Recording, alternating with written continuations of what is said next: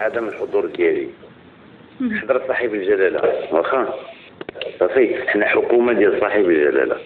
لما كيحضر صاحب الجلالة ما كيبقاش الكلام ما كيبقاش الفضاء لشي حاجة أخرى. صافي؟ وضيف إلى ذلك واخا؟